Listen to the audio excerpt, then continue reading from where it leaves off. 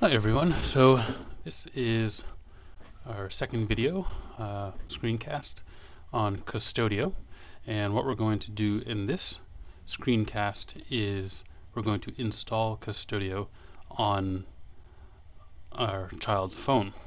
So I'm currently at the App Store, so I'm going to look for the Qustodio app. And in the results, you're going to get a few different results and the one you, you want to install is the kids app Qustodio so I'm going to click on download button.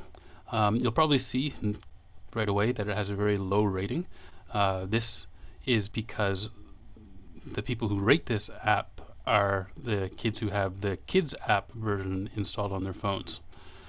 Okay the other versions up here are for adults and that's what what has all of the settings for um, screen time and things in it. This is the kids app is the one that controls or is controlled by the parental app. All right, so now that we have installed it, okay, we click on open. Okay, and since I already have an account, I'm going to log in. If you don't have an account, uh, you can watch the first video on getting um, our Qustodio environment set up. Okay, so I'm going to pause the video here and when I'll be back with you after I've logged in. Okay, so I'm logged in and so I'm at the welcome screen and you can see it has options to protect this device or try Parents app instead. So if you're on your phone, you should be using the Parents app. If this is your child's phone, then this is the app that you want to be installing. So we're going to click on protect this device. Okay. iPhone name. So if you recall from the first video, I created, instead of creating two kids for each of my daughters, I actually created um, a kid for each device so we can uh, manage them separately. So this one I'm going to call the generic name that I used when setting up the account. Okay, so I called this, this would be called child 2 iPhone. Okay, and that'll just make it easier for me to remember when I go back into the parent console. All right, so here we go. I'm going to say child 2 iPhone is using this. Okay, and then it's going to take you through the rest of the settings. So we want to allow notifications. Okay, now it's going to download a profile.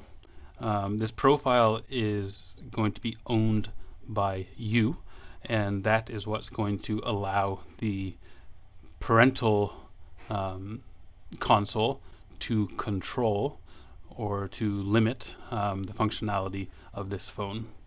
So I'm going to go to download now. I'm going to download the profile. Okay, yes, allow profile has been downloaded. We close this, click on done, and then it's going to ask us to go to settings so we can install the profile. So I'm going to go to settings, and then you should see here uh, profile downloaded. I'm going to click there. And then we're going to install this profile.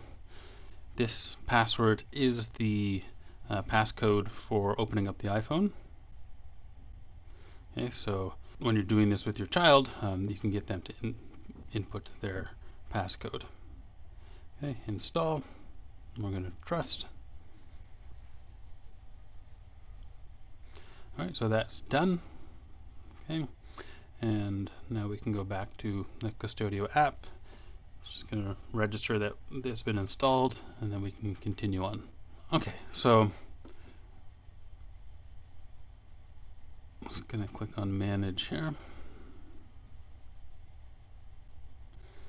Right, so your child can't, once we manage this, your child can no longer remove this um, profile without having your uh, Qustodio login.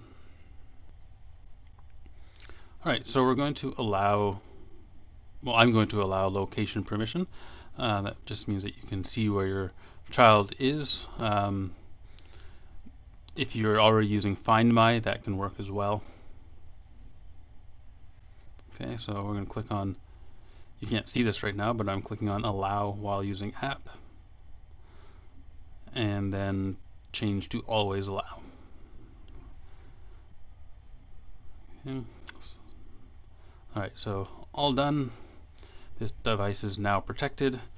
So now in the next video, screencast, we'll go back to our parent admin panel and we'll be able to see this device in the admin panel and we can start setting up uh, the screen time settings.